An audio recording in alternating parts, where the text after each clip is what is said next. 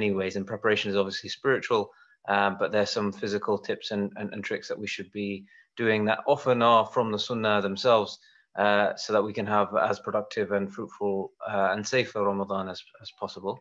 Um, so I will Yes, there we go. So yeah, so my name is Safian Younas. I'm a GP in Buckinghamshire, um, uh, and this this talk is um, sort of being done with the umbrella of ASCC, but then also under the umbrella of the British Islamic Medical Association, uh, which is a, a, an organization that's run by volunteers uh, from the various allied medical fields, so doctors, pharmacists, uh, dentists, etc., nurses. Um, uh, uh, that when we work to kind of serve um, uh, the Muslim communities, so both the healthcare professionals, but also the public uh, in terms of giving advice, policy, uh, networking, etc. Um, and that's the mission statement of BIMA, so inspire our members to unite in the service of our patients and our profession. So you may have seen some of the work BIMA has been doing in the COVID uh, crisis, advising masajid, for example, or uh, sending out public messages about, say, the vaccine, uh, releasing videos, etc., etc. Um, uh, so that's who they are. I'm I'm just a volunteer there, and there's there's sort of uh, other people who are who are doing a lot of the hard work. Uh, and this is a campaign, uh, the Healthy Ramadan campaign that BIMA runs yearly. Um, actually, I did this talk. it's it's the the slide some of you may be familiar with a few years ago at BIMA uh, sorry, at ASCC in in person. Um, um, I think the, the, the disclaimer here and uh, the uh, sort of advice that they're just giving uh, is to say that what we're talking about here is, is, general advice. It's not kind of specific medical advice. So it's always important to um, talk to uh, your own doctor, your GP, uh, and then also local scholars uh, for uh, advice as well. But um, yeah, and, and feel free to um, uh, kind of uh, uh, put in any questions if, if, there's something I'm saying that may not be quite right or you know that you, you might know a, another medical or uh, religious ruling on. Um, Barakallahu feek. Um, so what, what are the aims for today? Um, and it's a bit difficult doing this without uh, an audience in front of me. I usually like to be quite interactive and maybe we'll try and do that. Um, I think there's a few names um, uh, on the on the list that I might be able to pick on. But um, uh, the aims here are kind of to talk about the the health dimensions of fasting, and that's both benefits, but then also some of the the risks that we need to be aware of, um, and how we can mitigate for those, and how we can maximize on those benefits, inshallah. Uh, it's to maybe think about how we're going to plan our diet this Ramadan, um, and think about things like exercise, weight management, and and smoking, um, uh, which which are all you know uh, some positive lifestyle changes that we can enact uh, through the catalyst and the barakah of Ramadan. Um, we're having a bit of a focus on diabetes uh, as well, um, because uh, as many people know, we have a lot of diabetes, type 2 particularly, uh, in our communities. Uh, so South Asian communities, Middle Eastern communities. In fact, it's whilst there is a genetic disposition, it's something that we're seeing increasingly even amongst white British communities more and more uh, commonly. So um, it's something that we we want to have a bit of a focus on. Um, at this point, actually, I was just going to ask. I don't know if people can raise their hands on Zoom, or uh, if if there's anyone even at the center as well. How how many people either have diabetes themselves or um, uh, have sort of family, immediate family that have diabetes, who are joining us today? So we've got two people at the center, or three, um, including okay. people who have it and those who are family members. Fine, and I, have got a raised hand uh, from uh, a brother Ibrahim as well, I think. Um, so that's very useful. Um, fine. So, so I, inshallah, I will, I will, um, uh, I'll, I'll, I'll, spend a little bit of time on that. And then lastly, actually, just a bit about, uh, obviously, we're in the era of COVID, the pandemic. Um, uh, and vaccination programs are, are well underway. And, and, and actually, many of you or some of you certainly may have already had the vaccine. Um, so that's something we'll touch on uh, as to kind of what to expect if you're invited for the vaccine during uh, the month of Ramadan, and, and we can do some Q&A on that. Uh, so Isha is at uh, 7.45. Um, so we'll try and uh, finish the slides aspect of this, hopefully by, you know, 20 minutes, half an hour at the most, um, uh, and then allow a, a good uh, amount of time for Q&A, um, inshallah. So, so, so why do we fast? Um, I think the, the important thing, whilst I've, you know, started this conversation about the health benefits of, of uh, Ramadan and fasting, I think obviously this, the, the, the, reminder that we like to start this talk by is actually it's it's for Allah subhanahu wa ta'ala. Um, it's a commandment and, and you know, submit now, now we're, we're ready to obey. Um, and, and that's the core of it. And it's to that we may, you know, attain taqwa, closeness, God consciousness um, to Allah. And that's that's the kind of primary aim uh, and may Allah sort of uh, grant us that and, ex and accept it, uh, and accept it, any ibadah and preparation that we're doing now for for then.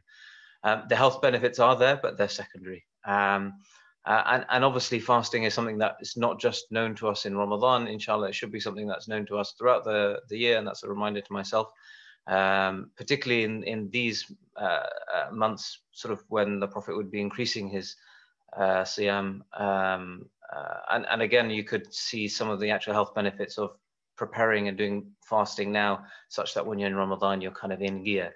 But you know, as is on the slide, you, you can see there's a number of uh, uh, times in, uh, around the year that's recommended to be fasting. Um, so what, what are the health benefits of, of, of fasting? Um, why don't we try it out? Um, I, I, don't know if anyone uh, either wants a text or you can unmute yourself and, and what health benefits do, do people know of fasting?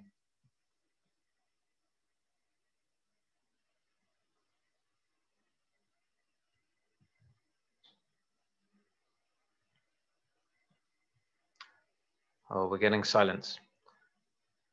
Not to worry, not to worry. I, I won't pick on anyone. Um, I'm sure some of you guys have got some answers.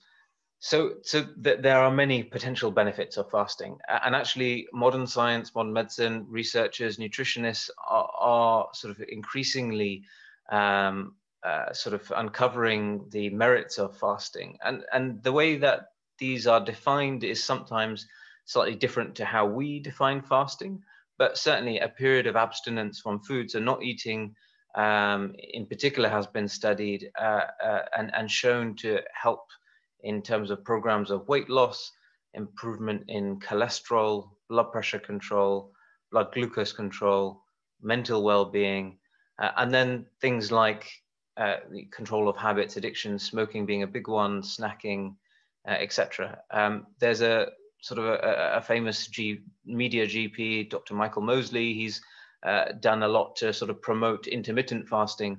And if you read his book, he actually talks about, uh, he initially talked more about the 5-2, so that's fasting two days of the week.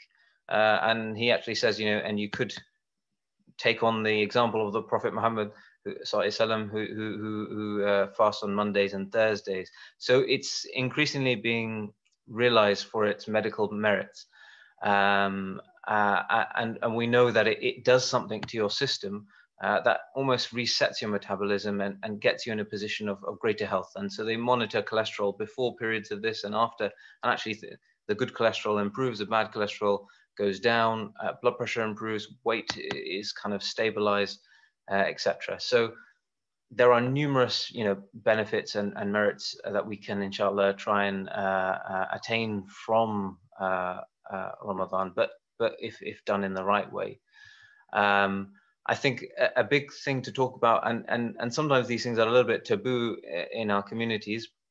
We have a number of people who smoke uh, in our community, uh, despite you know everyone knows it's not good for our health, and you know it's you know religiously as well. It's you know not something that's uh, uh, uh, good. Um, but actually, you have a perfect key here, catalyst here, that if you are smoking you're not you're not smoking then in the in the in the days then it's a good catalyst to cut down and eventually set, yourself a target whether that's in Ramadan uh, in or the end of Ramadan uh, or a few months later to kind of cut cut cut and then eventually stop. Um, because we know that smoking is actually a, a, uh, a, huge sort of cause of premature death in in in in, in kind of uh, all communities. Um, but then there are also some risks um, from fasting and I say risks, that's, you know, take that word with a little bit of uh, a pinch of salt, um, but not too much salt. Uh, but, but anyways, we'll come back to that. Uh, excuse the pun. Um, here's a, a, study that was done in Pakistan uh, a few years ago now, so 2012. Um, and actually, they, they monitored, uh, it was, uh, I think, particularly they monitored people with diabetes. And as you can see here, they, they, they looked at lots of different sort of studies and uh, sort of experiences and, and perceptions, but they, they monitored weight as well as part of this study. And you can see actually uh, some people lost weight, but actually uh, uh more people stayed the same weight, uh, but a, almost a, well, a, very healthy amount uh, actually put on weight in Ramadan. So we know that actually, if we don't do it right, it can have a detrimental effect on our, on our health. So that's something to uh, think about uh, as we go forward. Um, again, so there are there can be more serious uh, risks of, of fasting, um, and, and some of those are listed here. So dehydration, we're obviously not drinking uh, and, and eating uh, for long periods of the day, particularly in, in countries where, like where we are in the summer months where you have long periods. Uh, and, and, and actually for a, you know, a, a, a fit and healthy uh, individual, um, that's you know not an issue. They've done studies to show um, that the absence of water doesn't adversely affect your kidneys, uh, for example. Um, but actually, if you're on certain medications, for example, diuretics, so those are water tablets, some people might call them furosemide, um, bumetanide, these sorts of things that uh, release fluid from your system, make you pass more water, and then you're fasting as well, then perhaps you're at a greater risk or if you've got kidney disease, etc. Uh, again, not necessarily a specific reason not to fast, um, maybe, but actually something to take caution on and, and, and actually have a chat with your doctor about. Um, um, interestingly, they've done some um, uh, uh, studies on stress and, and Ramadan. Uh, and obviously that's a double-edged sword because actually we talked about the positive mental health effects uh, of uh, fasting in the other slide. Um, but sometimes with the sleep cycle disruption um, and the absence of food, that can affect our, our mood. And obviously, spiritually, that's a test for us, and actually, it's a it's a chance for us to, to try and overcome that. But actually, for some people who may be suffering from stress, uh, otherwise um, may struggle with that, then you know sometimes that that can be exacerbated, and and, and we see that sometimes.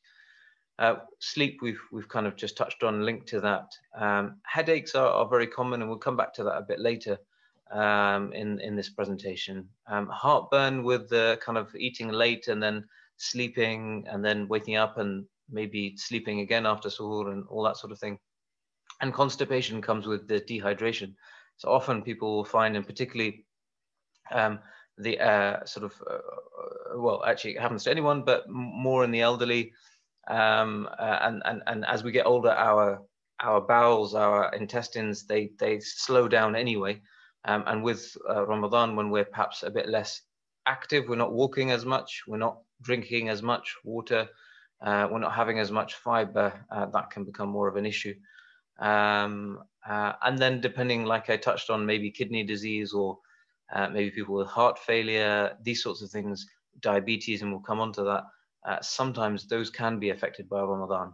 Um, and so it's important to kind of be you know realistic and uh, um, uh, I think uh, not just think everything is great with I mean everything is is alhamdulillah is is is is is beautiful about the month of Ramadan the spirit of Ramadan but the actual act of fasting has specific um, uh, cautions that we need to be careful of. And, and we know that again from from our from our deen that uh, uh, you know there are exemptions um, so I've kind of touched on some of this. Um, so there's people who are maybe more at risk um, in Ramadan, and, and that's not everyone under these diagnoses, and there'll be other diagnoses uh, that you know aren't covered here. Um, uh, but uh, yeah, and, and some of it will be related to medication. Um, so uh, if you may have uh, strict patterns or timetables for taking your medication, um, uh, which if you're fasting, obviously you can't take without breaking your fast.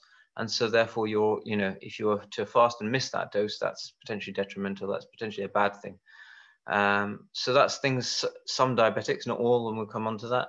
Asthmatics, and, and again, uh, it's not a question for me, but, you know, I think uh, a lot of, or Uh, there are probably uh, opinions, but um, uh, many people will say that taking an inhaler, for example, during the fast um, may invalidate the fast. So, you know, thinking about when you take your inhalers, if you are fasting, if you've got bad asthma, if your asthma or your COPD has taken you to hospital, etc., then that's something that you need to kind of really think about.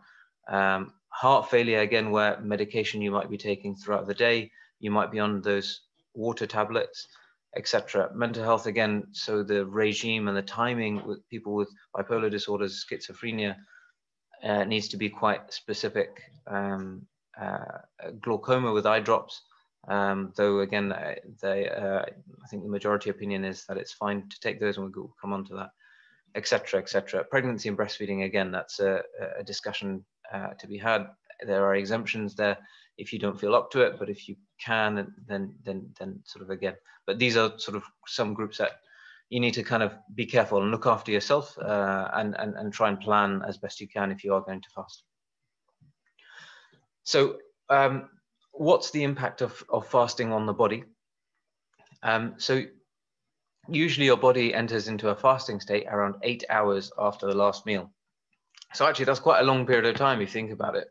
Uh, I, I, don't know about you, but you know, sometimes when I'm at work or, or, or, maybe not at work, probably at home, within a couple of hours of eating, you're, you're, you're ready for the next snack or, or, or whatever it might be. Um, but actually, it's eight hours before your body enters into a fasting state. Um, and that's why there's some of these diets which talk about the 16 8, which is where you fast for 16 hours of the day and you only eat for eight hours of the day. And that's shown to be uh, beneficial for your metabolism, for your cholesterol, uh, lowering your risk of getting heart attack, uh, diabetes, etc. Um, so actually, yeah, you have to have eight hours before you're beginning to see some of these changes uh, affecting your body. Um, and what happens in that scenario is that the blood, the sugar uh, tends to get used up in that time, glucose. Um, uh, and we then start to um, uh, uh, use other energy stores like fat or, uh, or sugar stores, glycogen, these sorts of things.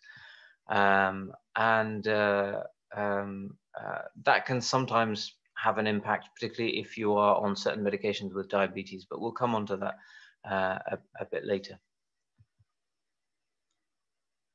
Um, just a, a, slide here about medical exemptions in Ramadan. Um, and, and, I've kind of already talked about this on the slide before, but we know from, from the Sharia that, um, uh, you know, there are exemptions um, uh, for people. So you don't have to fast Ramadan. And in fact, you know, uh, as we're taught, and I think this is on another slide, um, uh, if there's a rukhsa, you know, there's almost, it's, it's almost better to take it. Um, uh, but obviously that's an individual decision in, taken in conjunction with it, getting advice from your scholars and, and your actual medical condition with your doctor on board.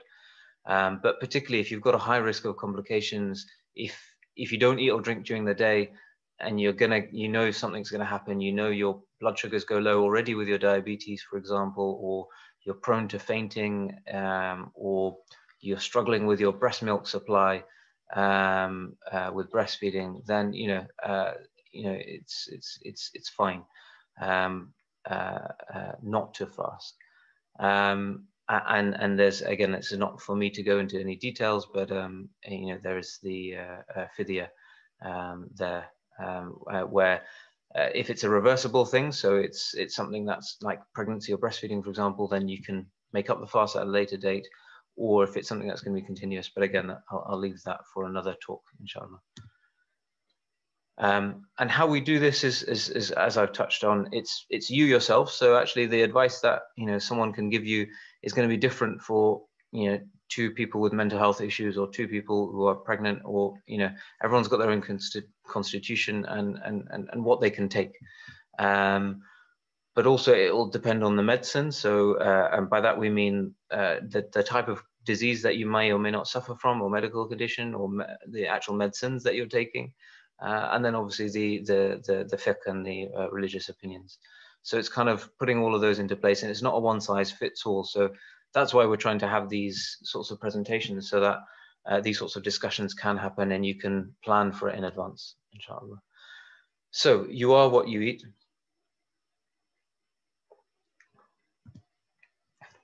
This is what um, some of you remember from school days. uh, uh, you know, the balanced diet.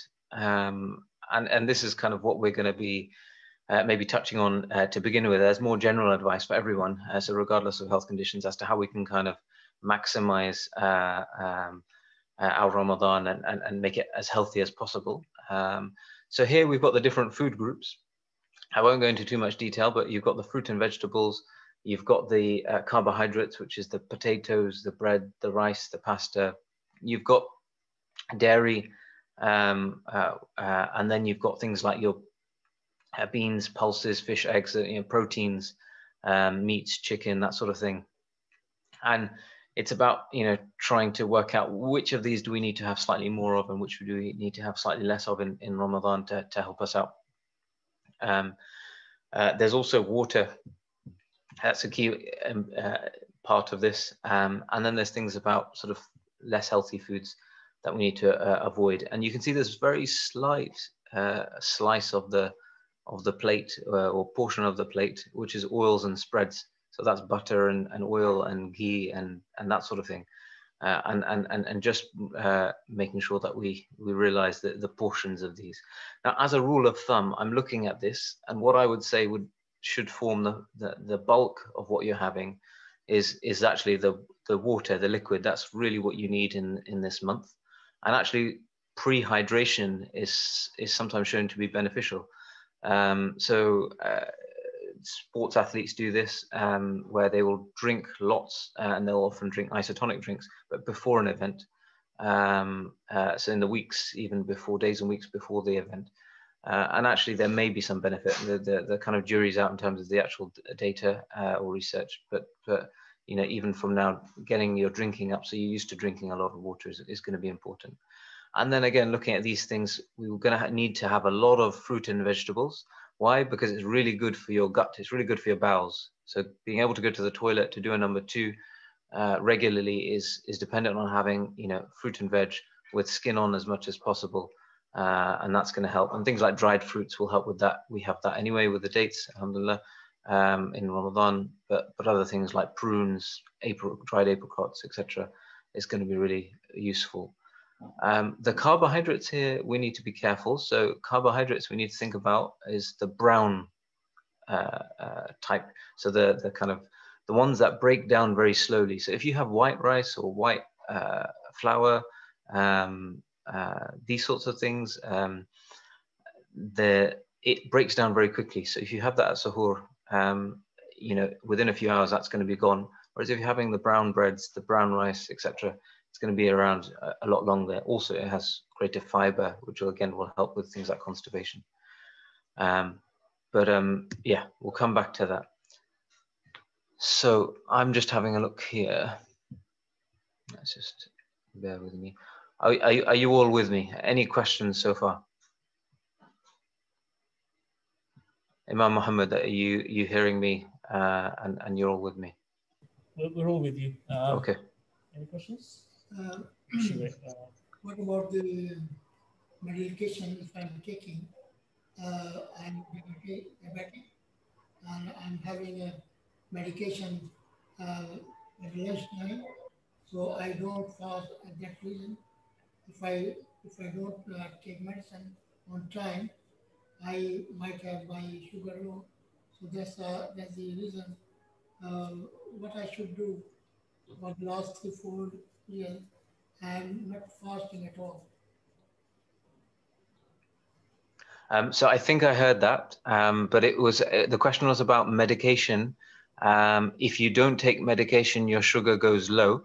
Um, advice regarding that and food to help prevent that. Is that right? Is that right? Yeah. Yes, that's correct. Yeah. Uh, and and uh, uh, Uncle, are you are you do you fast in Ramadan at the mo- at moment, or you avoid it, or sometimes you do it, sometimes you don't? What's the? Avoiding. Yeah, avoiding. Yeah. Yeah.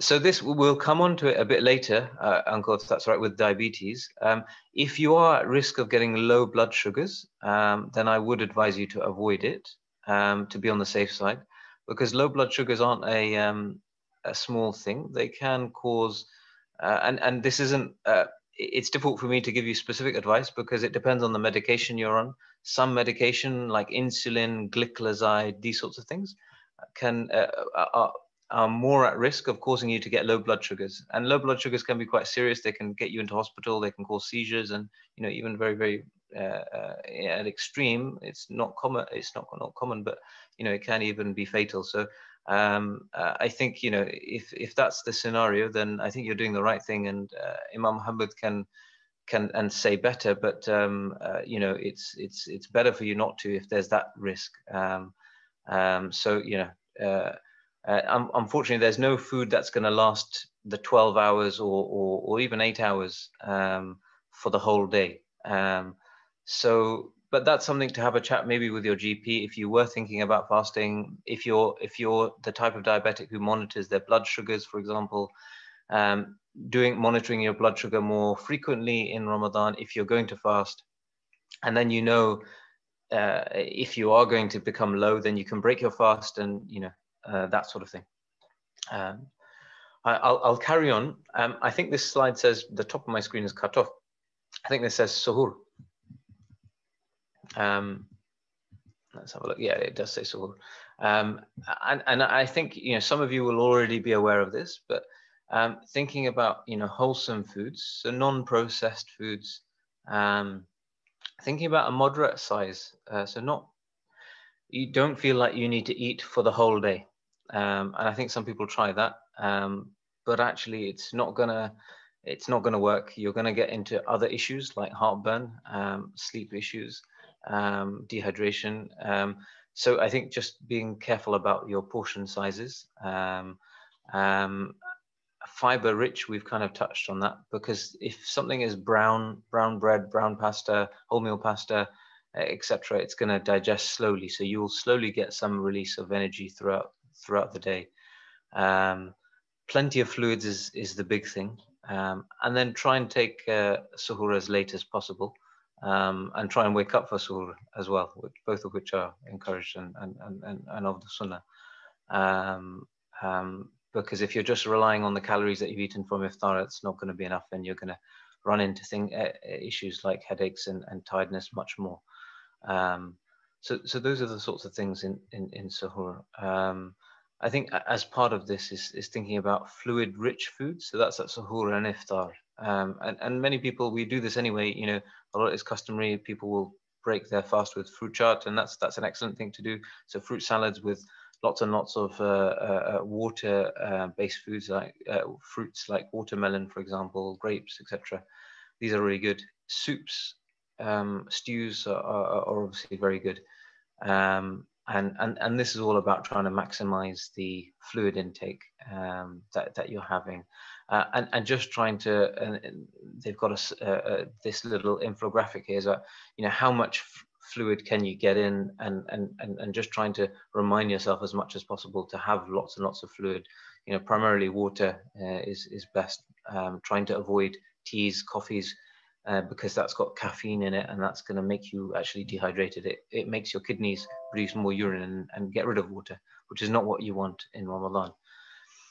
Um, so yeah, so you know, uh, six points of hydration here they've got. So upon breaking the fast, obviously we, we do that anyway.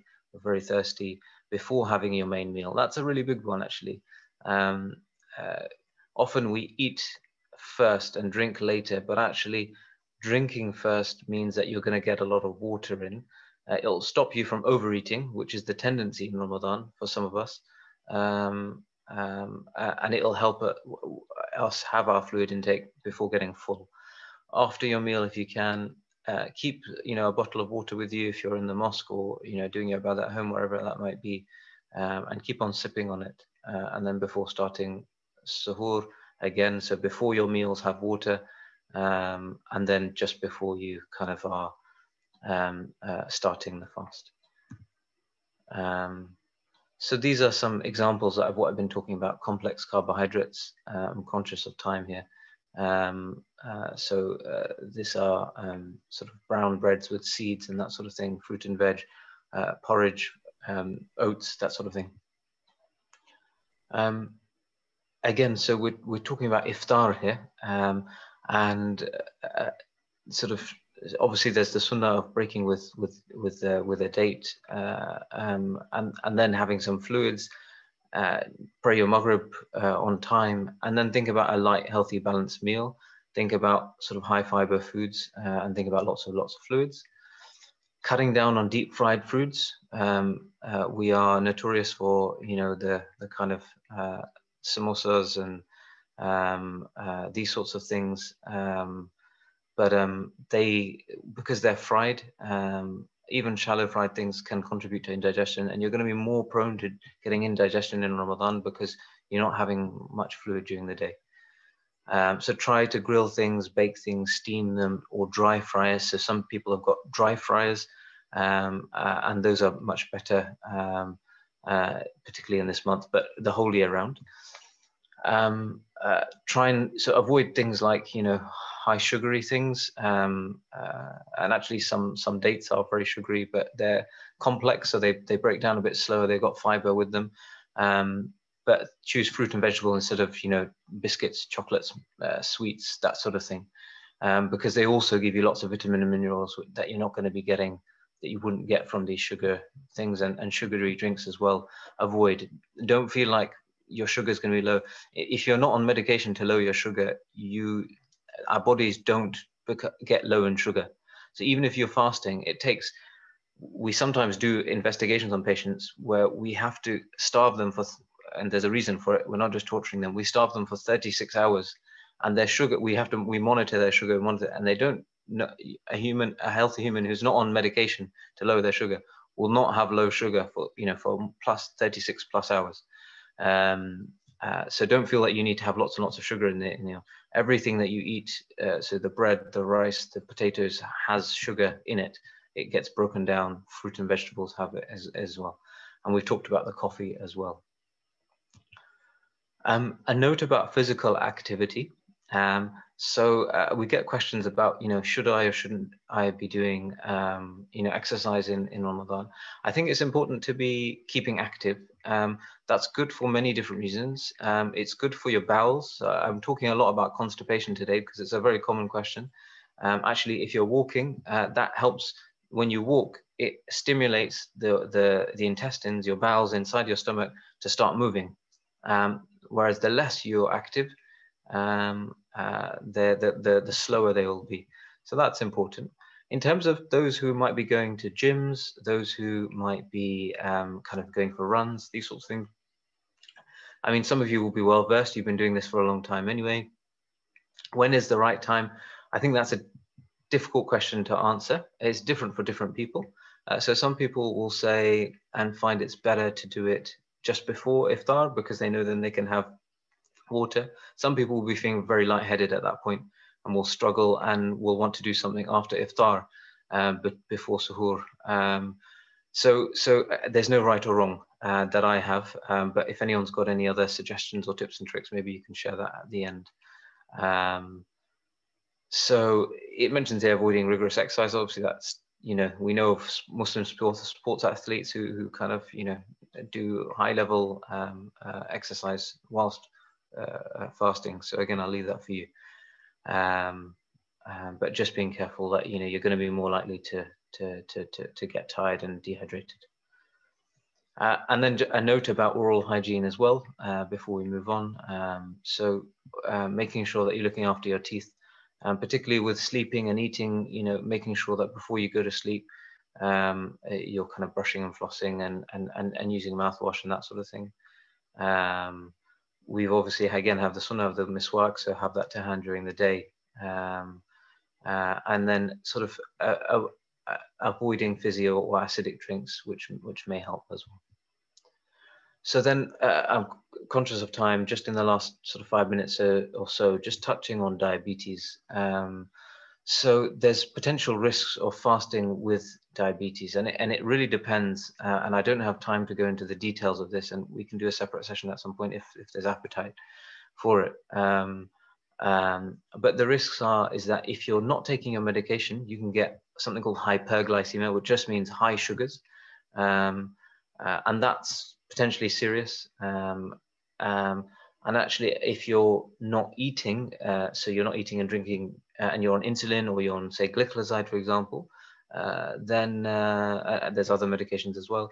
Um, you're at risk of getting low blood sugars, which can be serious uh, as well. And you can get dehydrated. you're more prone to getting dehydrated.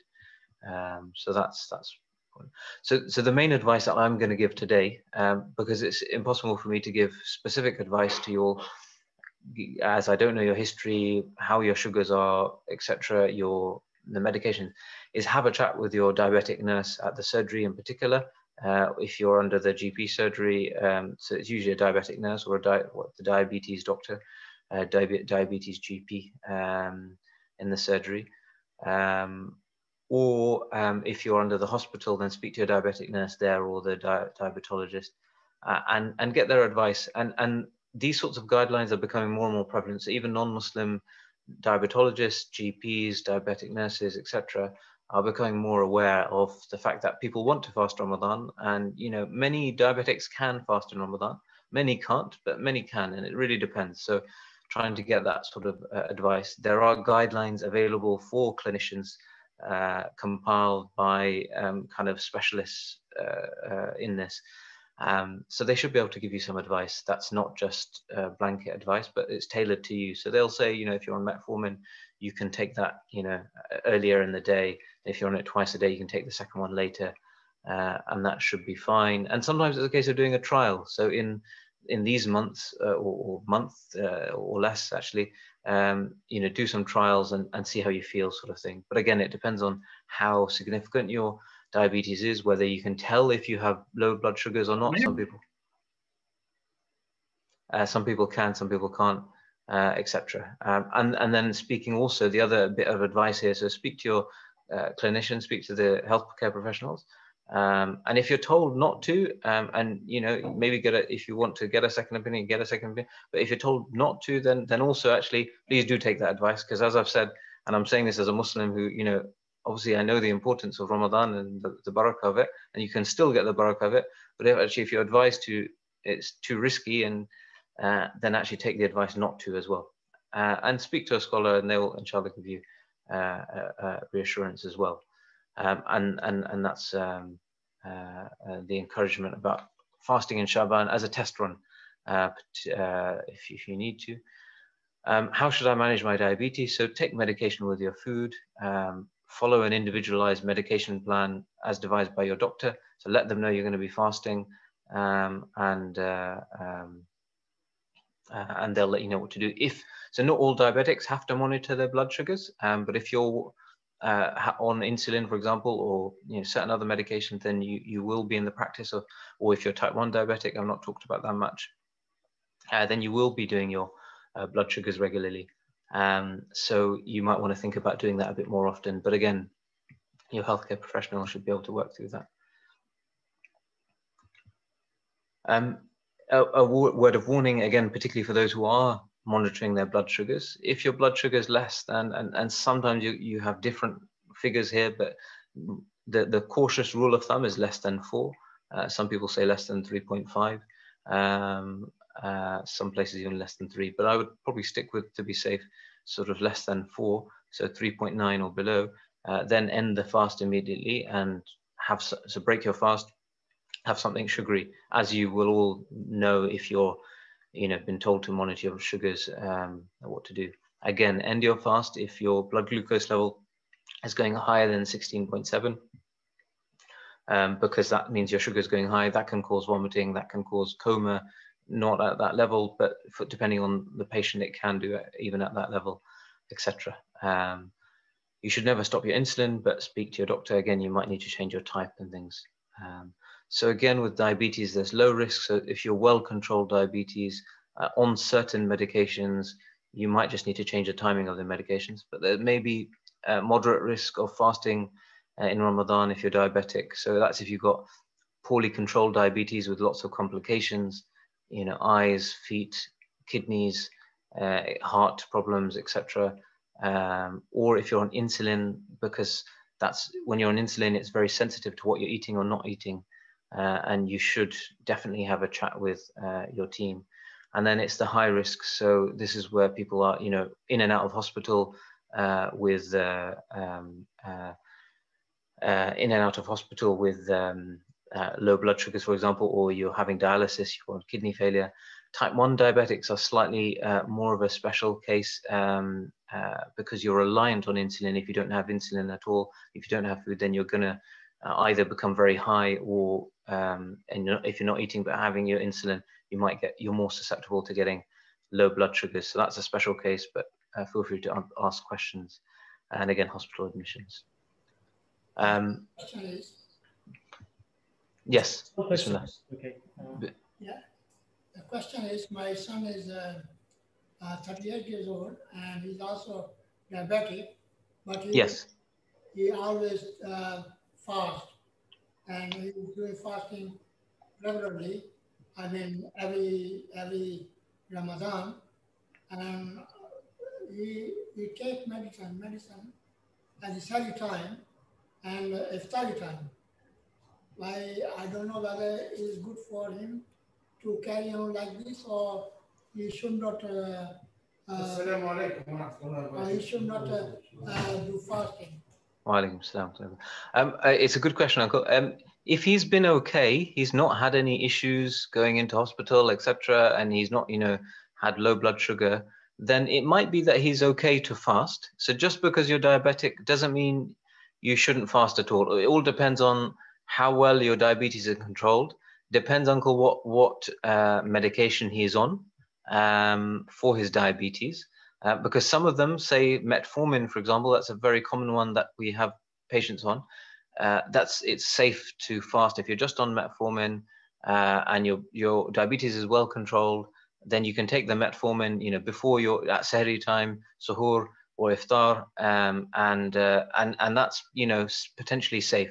If and if he's been doing it, then that's fine. But it's difficult for me to advise specifically on his situation because I don't know what medication he's on and what his blood test results are like, etc.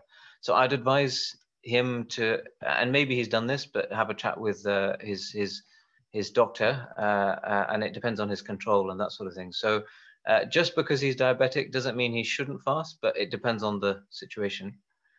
Um, I'm I'm just going to wrap up very quickly here. So just to summarize, uh, we, we've kind of talked about the diabetes. So be careful about low blood sugars if you're at risk of getting bl low blood sugars. Speak to your doctor or your diabetes nurse um, it's worth keeping some glucose tablets to hand. Um, and if you're ill, break your fast if you need to. Do some trial runs. Um, take home messages for all. There's lots of benefits in terms of your physical health uh, to kind of partake in in terms of, uh, of, of, fasting, both in Ramadan and generally. Um, so let's make the most of it. Think about your diet. Be clever about your diet. When you eat, what you eat, um, keeping fluids up, uh, and that'll help you benefit from the, the, the physical benefits, but then also prevent some of the things like you know constipation, heartburn, etc. Um, so that's good. And then very lastly, I was just going to touch on uh, and uh, the COVID vaccine. So obviously, we're in the pandemic at the moment. Many of you will have already had your COVID vaccinations. Um, uh, so I, uh, but some of you may be invited to have your vaccination uh, over uh, over the Ramadan period. Um, I think the first thing to clarify, and BIMA are talking about this, and uh, they've got sort of a scholarly input into it. Um, and actually, it's completely fine for you to. Uh, it's it doesn't break your fast to have an injection. So it's a intramuscular injection that goes into the top of your arm, deltoid muscle, uh, and that doesn't break your fast in and of itself. Um, so it's completely safe to take the vac or have the vaccine whilst you're fasting. Um, and often so uh, many people get you know you you might get um, side effects uh, after taking the vaccine and that's just common. We expect that. I had the vaccine. If you speak to a lot of people uh, some some of them didn't some of them did some of them just got a, a painful arm. Some of them some of them felt a bit feverish like a flu like symptoms um, but then it gets better. That tends if it is going to happen it tends to come on after a few hours. So actually that day you're probably going to be fine to continue fasting but if you know, say the next day or that evening you're feeling not quite right, headachy, etc., then obviously that's an individual decision. If you want to, you know, not fast for the next day, if you're feeling only if you're feeling unwell, like I say, many majority of people feel completely fine. Um, then you may want to not fast that day if you need to take lots of water or take a, a, a paracetamol or etc. Um, so I just wanted to mention that. Um, so don't shy away from the vaccine because actually if you get COVID, you're at much greater risk of missing the rest of Ramadan and, and, and really harming your health, um, particularly in our communities, um, uh, than having a vaccine where at the most it'll be, you know, a couple of days, rarely maybe something more than that. But, you know, the thousands and thousands of patients that we've vaccinated uh, where I work, you know, uh, alhamdulillah, you know, we've not had any issues um, uh, in terms of beyond the, sim- the the kind of mild symptoms that you get for a couple of days that then settle. So um, yeah, so that's the only thing I wanted to mention. I'm going to stop there.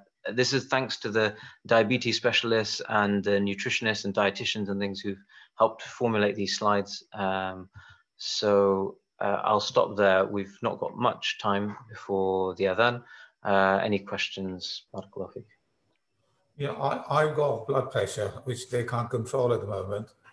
And I take heavy doses, which is two doctors in, in the morning, two at night, uh, four mil, and 75 at night, which is the losartan.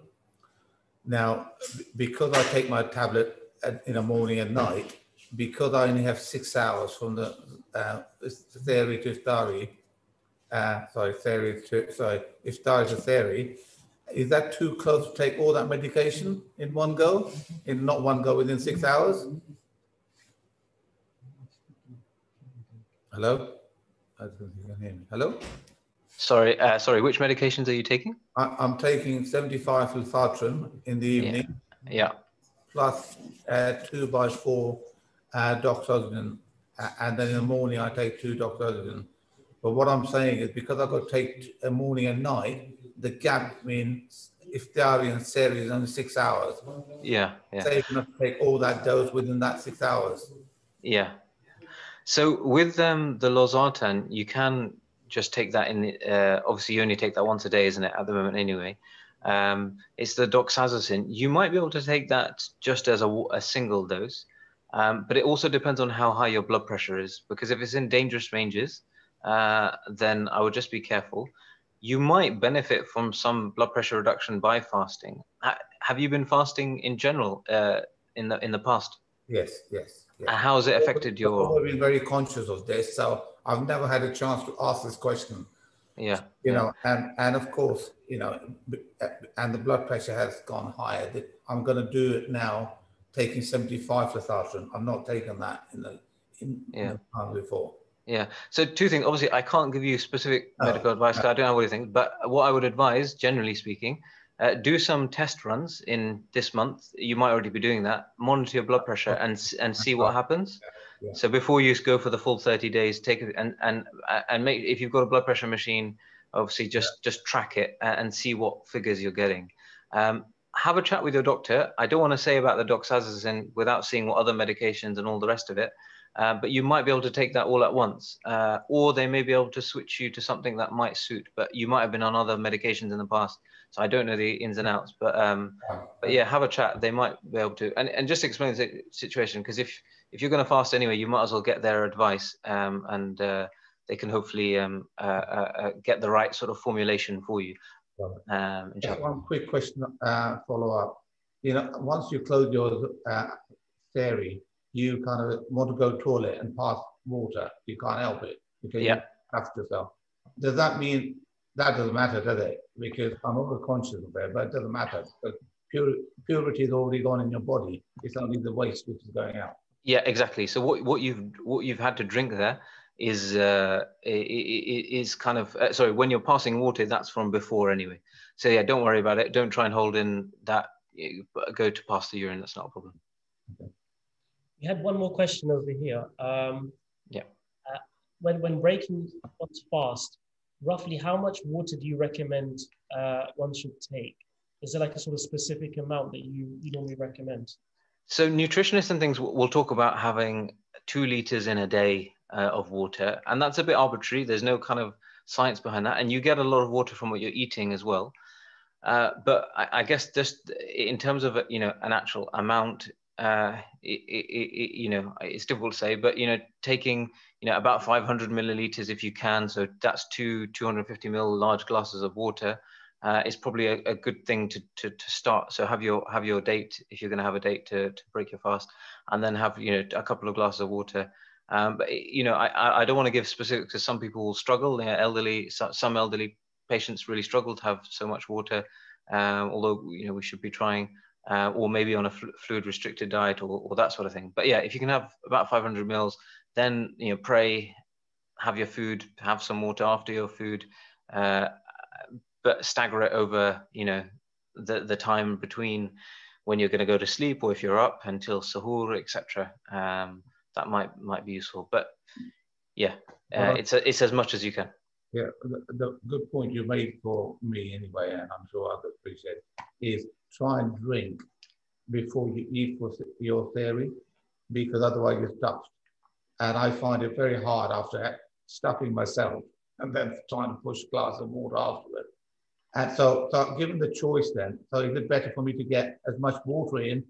And if I don't get enough food in, which, which if I'm weighing the scale, which way should I tip my scale? I, I would I, I would say water is probably more uh, um, of a of a priority. Um, yeah, I think. I so. never knew that. Never knew uh, that. So I, I'm grateful for that. Thank you. No, no, that's fine. And then just being clever with the food that you do eat. So like trying to do the the browner uh, uh, type uh, foods, the slower digesting things, the vegetables, the thing. Uh, not to say have, you can have uh, uh, sort of the chicken and meat; they're good for protein as well. Um, fish is, is very good. Um, but yeah, just think about the portion size, but think about the water. And then, you know, if you wanted to, to, to so some people will have um, sort of uh, isotonic drinks. Some of them have caffeine, so they're not good. Diarrhea, actually, some people, because they've got sort of salts in there, they've got sugars in there, but you don't need to do that. Simple water's fine, and you're going to eat. Uh, so, you know, uh, that's fine. Just have a have a have a balanced uh, meal. Can, can, you have over? Can you over sugar yourself? Because I don't eat any Indian food at all for the morning. I just have my Weetabix and things like that, and and call it day and with water. So so because you don't have that variety that you showed on your graph, does that? I mean, I've survived up to now to talk to you. So yeah, uh, I didn't catch the first bit of the question. Can you? Uh, what what I, what I'm saying, I don't have Indian food in the morning for sehri. I just yeah. have Weetabix you know, things like that kind of thing. And maybe yeah. request to get the fault inside me. And that's about about No, that that's good. Yeah, no, no. Yeah, and you don't have to have you can have you can have what, what you like really. Um, you know, Weetabix is really, really good. It's fibrous, it's it's slow release energy. You've got the milk, which is fluid, but also protein um, with vitamins, etc. So so that's fine. You don't need to have rice or or, or, or potato or, or, bread necessarily, but um, yeah, that's fine. Mm-hmm. Uh, just one question uh, linked to Brother Umar's question just now. Um, does the body still derive benefit from water if you just kind of binge on drinking lots of water before sahur? Because often you find you can't sleep afterwards and then it kind of all comes out eventually anyway. Yeah, so it's a good question. Um, so I, I, kind of touched on it. It's that whole pre-hydration uh, that some athletes do. Um, I think in general, it's it's better to have had the fluid um, because your body will be in a state of kind of wanting, after having fasted for so long, it's going to be, your kidneys that will be programmed to be absorbing lots and lots of the water. So not, not peeing as much, your, your, your urine will be concentrated. The reason why it's darker in color is because the body's saying, you're not getting rid of the water, I'm absorbing it. Uh, similarly, you're getting constipated because your bowels are programmed to say, I'm not getting rid of that. I'm absorbing all the water, so your, your stool is harder.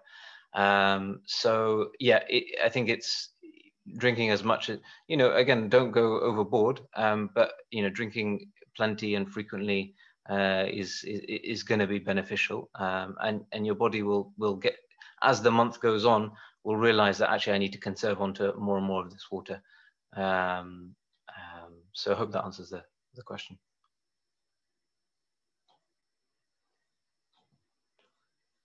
Okay, so it's the, the constipation is a problem. You know, you can't you can't get away from it.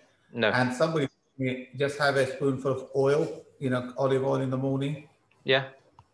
yeah. That, Is that too much? Should, is it bad in fasting to have a, a spoonful of olive oil or something? Yeah, you could do that. I'm, I'm not actually familiar specifically with olive oil. I've heard of it. Um, but if you want to take, so we often pres- uh, prescribe things like, um, it's, and, and actually it's a, it's a kind of a, a traditional remedy as well. So um, ispagula um, uh, husk, uh, or, or any of these sachets that you can buy, Cosmocol, Movicol, uh, Macrogol, these things that you can buy I have, over the. I have thing called Laxidol or something like that powder. Laxido, yeah, exactly. So you could just take one of those sachets uh, in the evening time, you know, between iftar or mix it with water because that's what you do, uh, and, and and and prevent, you know, uh, and that's completely safe to do. Super, thank you. Does anybody have any any final questions?